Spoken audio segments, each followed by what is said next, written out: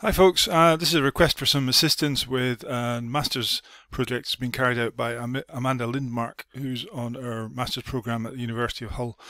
She's particularly interested in the impact of compensation awarded by the um, offshore uh, energy industry to fishermen, um, and, the, and and beyond that, the impacts on compensation and the offshore wind farm industry to the supply chain um, uh, in the fishing industry.